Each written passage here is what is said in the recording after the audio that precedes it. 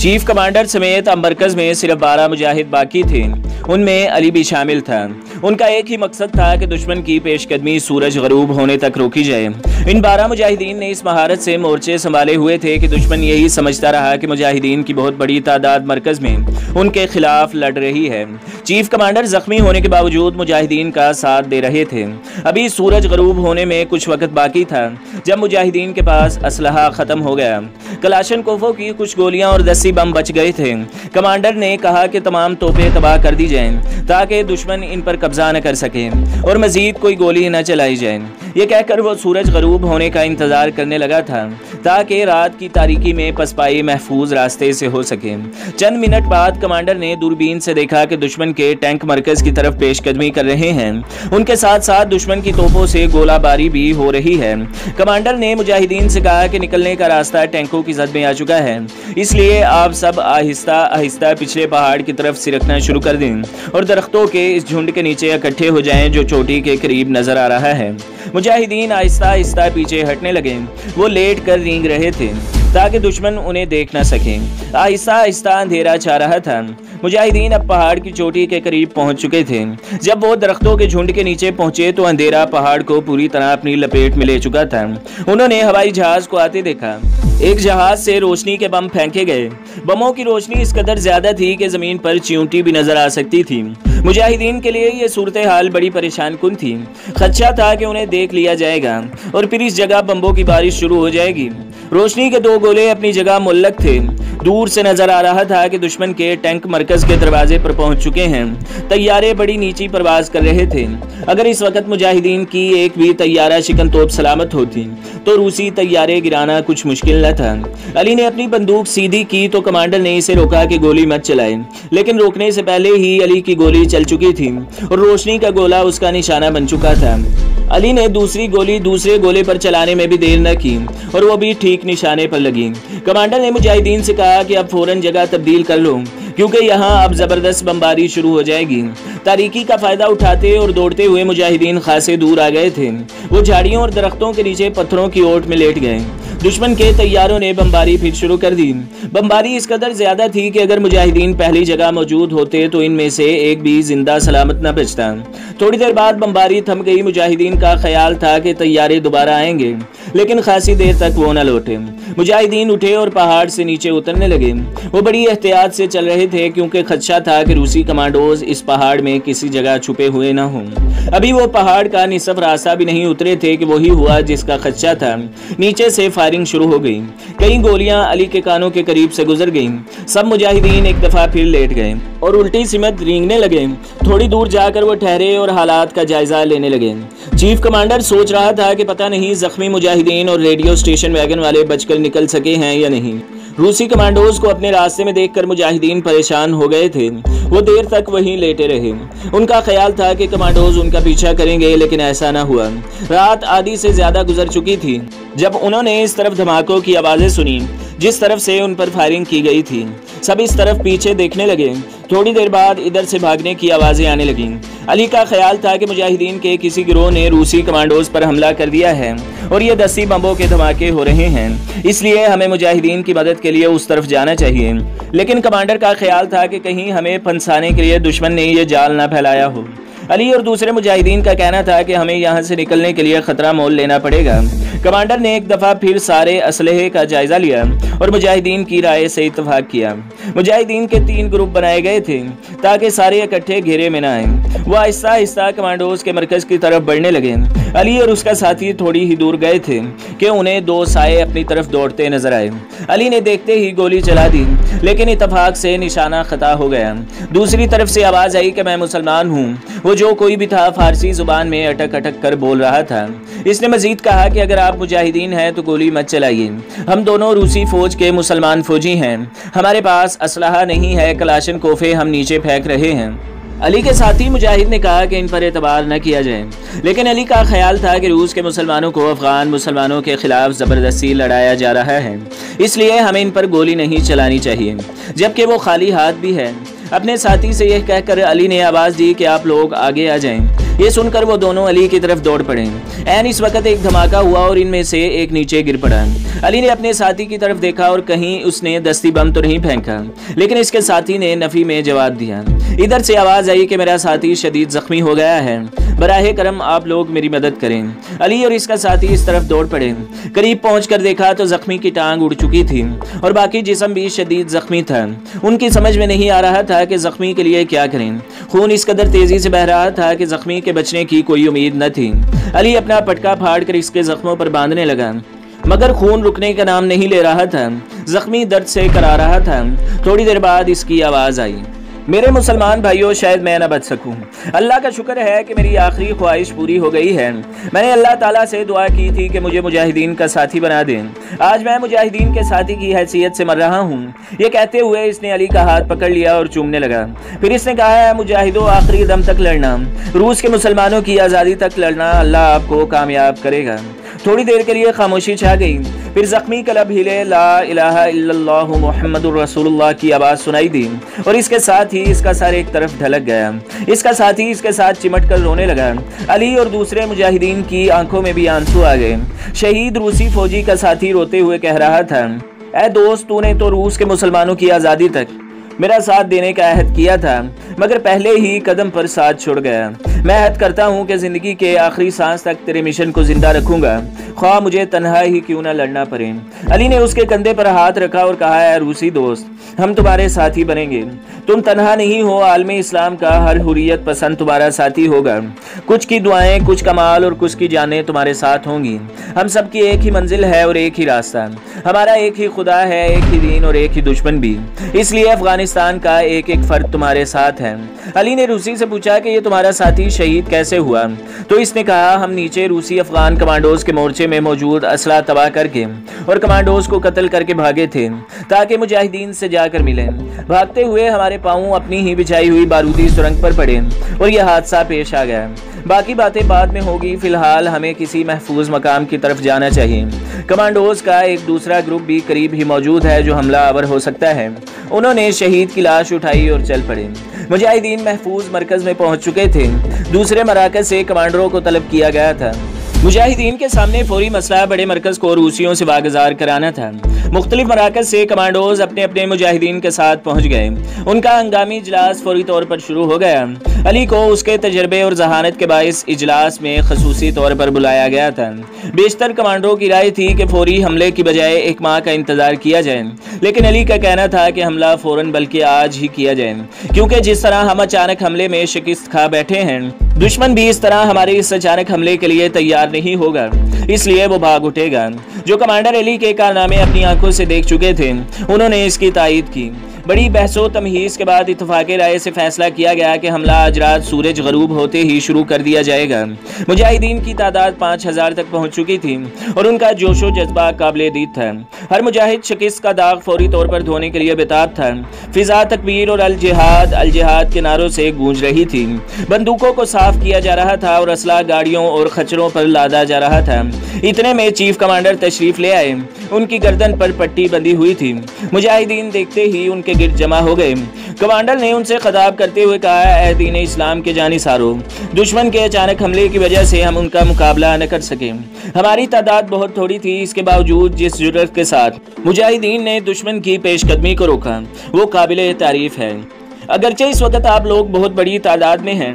मगर दुश्मन की तादाद अब भी आपसे पाँच गुना ज़्यादा है। अल्लाह ताला का इशाद है कि बसाओकात थोड़ी सी जमात ने अल्लाह के हुक्म से बड़ी जमात पर फतह हासिल की और अल्लाह इस्तकलाल रखने वालों के साथ है। इसलिए दोस्तों, अल्लाह के भरोसे पर हिम्मत और जुर्रत के साथ आगे बढ़ो और दुश्मन को तहस नहस कर दो। अल्लाह तुम्हारी मदद करेगा। इसके साथ ही फिजा नसरुम वफ़तुन करीब के नारों से गूंज उठी और फिर मुजाहिदीन तकबीर के नारे लगाते हुए दुश्मन पर हमला आवर होने के लिए चल पड़े। दुश्मन उनके इस हमले की ताब न ला सका और जल्द ही भाग खड़ा हुआ। दुश्मन के सैकड़ों फौजी भागते हुए मारे गए और 500 से ज़्यादा गिरफ़्तार हुए। बहुत ज़्यादा असला मुजाहिदीन के हाथ आया और मरकज़ पर मुजाहिदीन का दोबारा कब्जा हो गया था। इस कामयाबी पर मुजाहिदीन ने सजदा शुक्र अदा किया। मरकज पर कब्जे के बाद मुजाहिदीन के चीफ कमांडर ने सब कमांडरों की दोबारा मीटिंग बुलाई। मुजाहिदों का इस मरतबा बहुत ज़्यादा नुकसान हुआ था। एक सौ से ज़्यादा मुजाहिदीन जाम शहादत नोश फरमा चुके थे। दो सौ के करीब जख्मी थे। दुश्मन का नुकसान भी कम नहीं था। पहाड़ों पर बिखरी हुई दुश्मन की लाशों को जब इकट्ठा किया गया तो उनकी तादाद 300 से ज़्यादा थी। चीफ कमांडर का ख्याल था कि दुश्मन के कम अज कम 1200 फौजी मारे गए होंगे। बाद में मुजाहिदीन के जासूसों ने छावनी से इतला दी कि दुश्मन के 1500 से ज़्यादा फौजी हलाक हुए हैं और चार तैयारे और बीस टैंक तबाह हुए हैं। जख्मियों की तादाद का कोई अंदाज़ा नहीं। मुजाहिदीन खुश थे कि इतनी बड़ी फौज और असले के साथ दुश्मन एक दिन से ज़्यादा एक लम्हा भी उनके मरकज पर कब्जा बरकरार न रख सका। रूसी मुसलमान फौजी ने अपने बारे में सब कुछ बता दिया और चीफ कमांडर ने उसे मुजाहिदीन में शामिल कर लिया था। दूसरे दिन शहदा की नमाज़ जनाजा पढ़ी गई। रूसी फौजी, जिसका नाम अब्दुल रहमान था, जनाजे में शामिल था। वो जनाजा पढ़ने वालों को देखकर हैरान रह गया। कि किसी एक फर्द की आँखों में भी आँसू न थे और ना किसी तरफ़ से खातन की आहो बका की आवाज़ आ रही थी। उसने अपनी इस हैरानी का ज़िक्र अली से किया और पूछा कि ये कैसे लोग हैं जो अपने भाइयों, बेटों और बापों की मौत पर भी आँसू नहीं बहा रहे। अली अब्दुलरहमान को एक बूढ़े के पास ले गया जिसके इस मार्के में पाँच में से तीन बेटे शहीद हो चुके थे। बूढ़े मुजाहिद ने अब्दुलरहमान का सवाल सुना और कहा, बेटा, अफ़गानिस्तान में बारह लाख से ज़्यादा अफराज शहीद हो चुके हैं। हम किन किन पर रोएँ? फिर शहादत तो अल्लाह ताला की तरफ़ से इनाम है, और इनाम खुशी से कबूल किया जाता है, आंसुओं से नहीं। अल्लाह ताला खुद कुरान मजीद में फरमाते हैं, बिला बिलाशुबा अल्लाह ने मोमिनों से उनकी जानों और उनके बाल इस कीमत पर ख़रीद लिए हैं, कि उनके लिए बहिश्त की ज़िंदगी होगी वो अल्लाह की राह में लड़ते हैं और मारते मरते जाते हैं। ये उनके ज़िम्मे एक सच्चा वादा है और ये वादा कुरान तो रात इंजील सब में है। यानी शहादत के बदले जन्नत दी जाएगी। और अल्लाह से बढ़कर अपने आयत का पूरा करने वाला कौन हो सकता है? बस मुसलमानों, खुशियाँ मनाओ। अपने इस सौदे पर जो तुमने अल्लाह के साथ किया है। और यही सबसे बड़ी कामयाबी है। बूढ़े मुजाहिद ने बात आगे बढ़ाते हुए कहा, बेटा, अफ़गानिस्तान की हर माँ आँसू बहाने के बजाय अपने बेटे को नसीहत करती है कि इस्लाम का परचम सर बुलंद रखना। ख्वाह तुम्हारी जान ही क्यों ना चली जाए?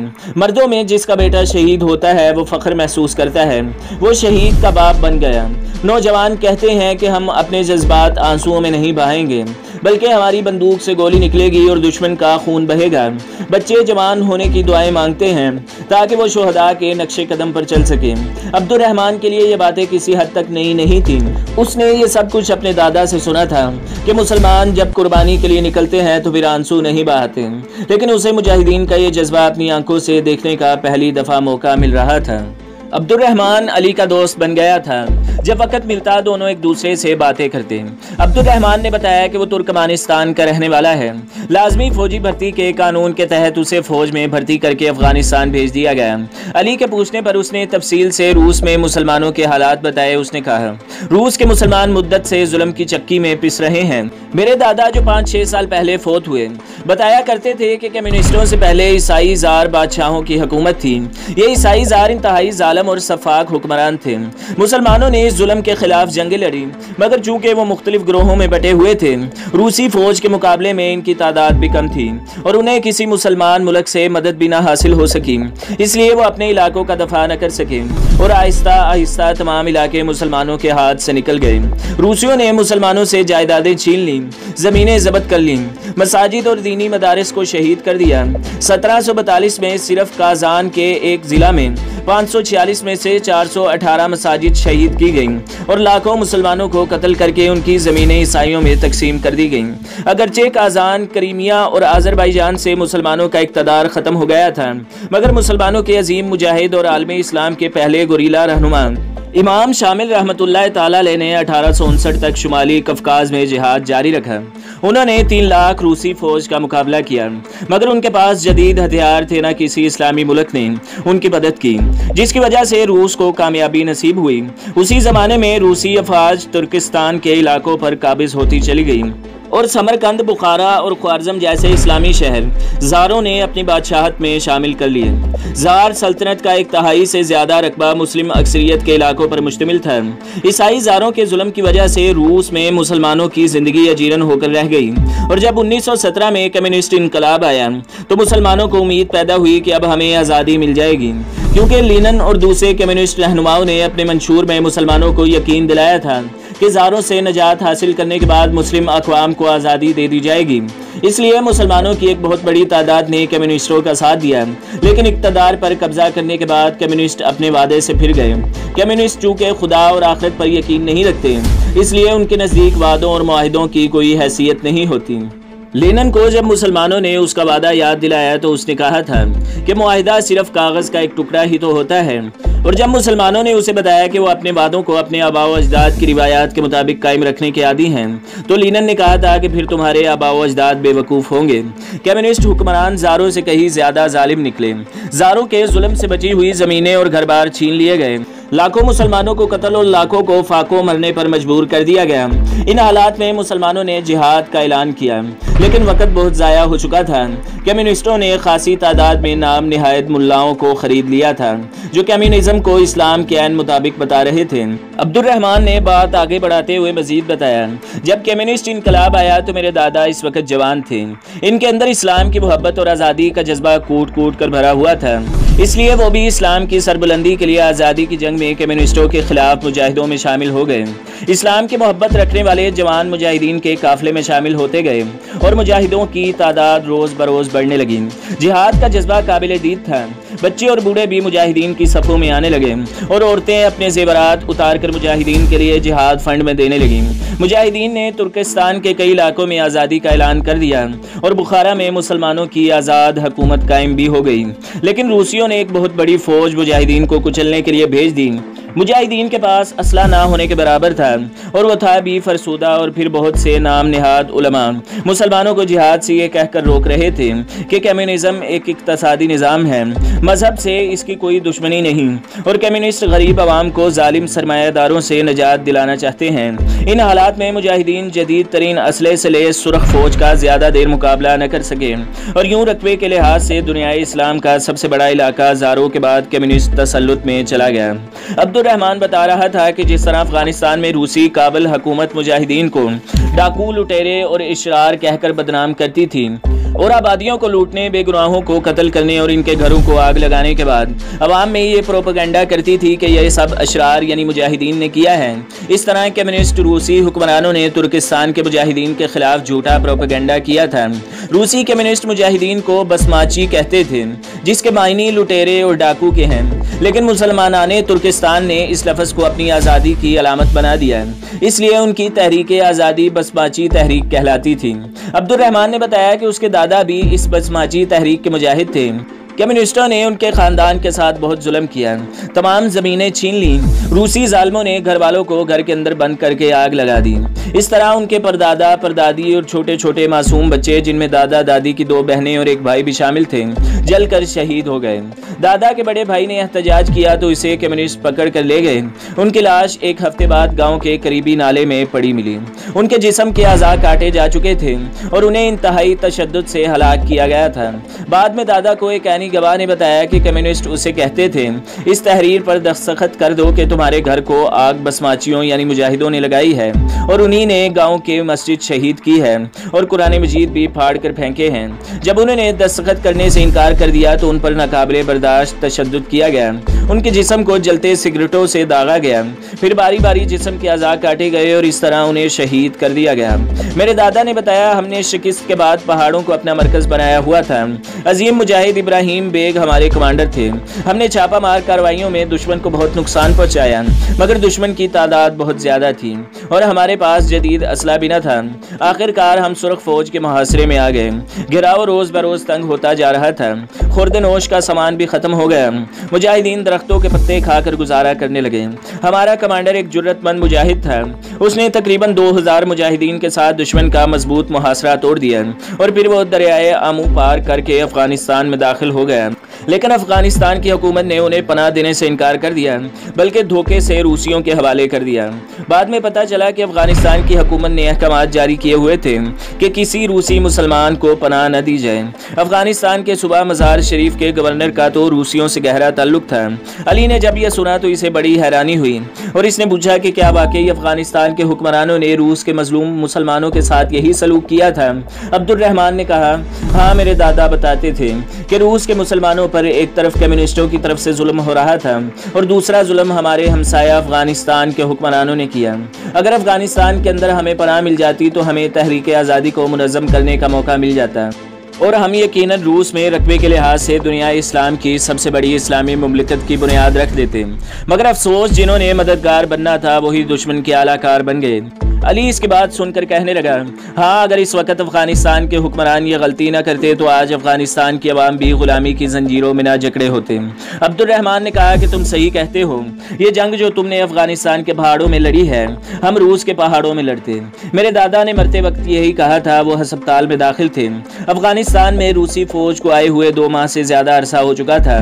मैं हस्पताल में उनकी तीमारदारी के लिए गया तो उन्होंने मेरे साथ बातें करते हुए कहा था अब्दुलरहमान मुझे पहले ही पता था कि ऐसा ज़रूर होगा।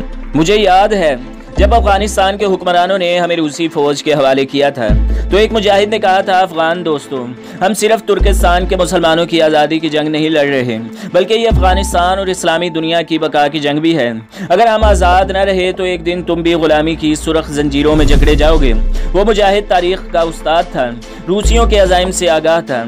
और जानता था कि अगर मुसलमानों ने सुरख इनकलाब के आगे रूस के अंदर बंद ना बांधा तो फिर यह जल्द या बदेर पूरी इस्लामी दुनिया को अपनी लपेट में ले लेगा। अली ने कहा कि आज अफगान मुजाहिदीन के रहनुमा भी तो यही कहते हैं कि वो सिर्फ़ अफ़गानिस्तान की जंग आज़ादी नहीं लड़ रहे। बल्कि ये पाकिस्तान, ईरान और दूसरे इस्लामी ममालिक के दफ़ा की भी जंग है। अब्दुलरहमान ने कहा यह बात तो समझने की है। कल अफ़गानिस्तान के हुक्मरान तुर्किस्तान के मुसलमानों की ये बात न समझ सके और आज दूसरे इस्लामी ममालिक के हुक्मरानों ने अफगान अवाम की ये बात न समझी। तो फिर कल उनका भी वही हशर होगा जो आज अफ़गानिस्तान का हो रहा है।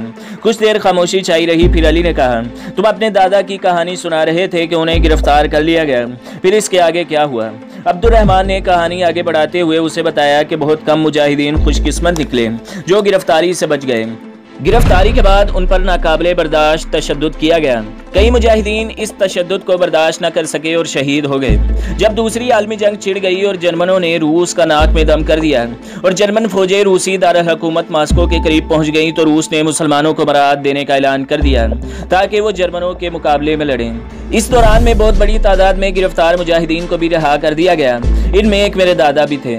अब्दुलरहमान ने बताया कि रहाई के बाद मेरे दादा ने खामोशी इख्तियार कर ली, लेकिन इनका दिल जख्मी था। इनके दिल में रूसियों के खिलाफ शदीद नफरत भरी हुई थी, लेकिन वो बेबस थे। वो उनका कुछ नहीं बिगाड़ सकते थे। लेकिन जब मौका मिलता है इनका इजहार करने से वो ना रुकते। रूसियों के खिलाफ और इस्लाम के हक में वो प्रोपेगेंडा करने के इल्ज़ाम में, वो बुढ़ापे में भी एक दफ़ा गिरफ़्तार हुए। मेरे वालिद मकामी कम्युनिस्ट पार्टी के अहम अहदेदार थे, इसलिए इनकी सिफारिश पर रिहा कर दिए गए। अब्दुलरहमान ने अली को बताया कि रूस में कम्युनिस्ट इनकलाब के बाद मजहबी तालीम न सिर्फ़ ममनू करार दे दी गई, बल्कि मज़हब के खिलाफ वसी पैमाने पर प्रोपागेंडा किया जाने लगा। अक्सर मुजाहिद और दीनी मदारस को आग लगाकर जला दिया गया, और बकिया को अस्तबलों, शराब खानों नाच गानों और अजायब घरों में तब्दील कर दिया गया। इस्लामी दुनिया को धोखा देने के लिए चंद मदारस और मसाजिद को खुला रहने दिया गया, जहाँ सरकारी कम्युनिस्ट पार्टी के मौलवी नमाज़ पढ़ाते और वही दीनी तालीम देते। इस तरह नई नस्ल आहिस्ता आहिस्ता इस्लाम से बेबहरा होती गई। इसका रिश्ता इस्लाम और इस्लामी तारीख से भी टूट गया आज रूस में इन घरों की तादाद बहुत महदूद है, जिनमें बच्चों को इस्लामी तालीम दी जाती है और इस्लामी तारीख भी पढ़ाई जाती है। तालीमी इदारों में मज़हब के खिलाफ तालीम का खसूसी इंतज़ाम होता है। इसलिए अगर किसी ने घर में दीनी तालीम हासिल भी कर ली, वो स्कूल या कॉलेज में जाकर बेअसर हो जाती है। कम्युनिस्ट दौर में एक करोड़ से ज़्यादा मुसलमानों को शहीद किया गया। आठ हज़ार दीनी मदारस और पच्चीस हज़ार से जायद मसाजिद शहीद या पाबंद की गई। पच्चीस हज़ार उलमा को शहीद किया गया। अली ने पूछा बरदर अब्दुलरहमान फिर तुम में ये इनकलाब कैसे आ गया और तुम इस्लामी तालीमत से कैसे आगाह हो गए? अब्दुलरहमान ने बताया कि यह सब अल्लाह का करम है और मेरे दादा का कमाल है। उन्होंने मुझे इस्लामी तालीमत ही से आगाह नहीं किया, बल्कि मुसलमानों की सुनहरी तारीख भी पढ़ाई। उन्होंने ईसाई जारों और कम्युनिस्टों के जुल्म तशद के बारे में भी बताया। इसके बावजूद जब मैं दसवीं जमात में पहुँचा तो मज़हब के बारे में मेरे ख्याल बदलने लगे। ये स्कूल में मज़हब के खिलाफ किए गए प्रोपागेंडे का असर था, लेकिन अल्लाह का शुक्र है कि मेरे दादा ज़िंदा थे। जब भी कोई बात इस्लाम के खिलाफ सुनता तो दादा जान से इस पर बहस ज़रूर करता है। मेरे दादा ऐसे मुदल जवाब देते हैं कि मेरे जहन में पैदा होने वाला शक फ़ौरन दूर हो जाता है। एक रोज़ हमारे टीचर ने मज़हब के खिलाफ लेक्चर देते हुए कहा कि मार्क्स ने कहा था कि मज़हब आवाम के लिए अफ्यून है।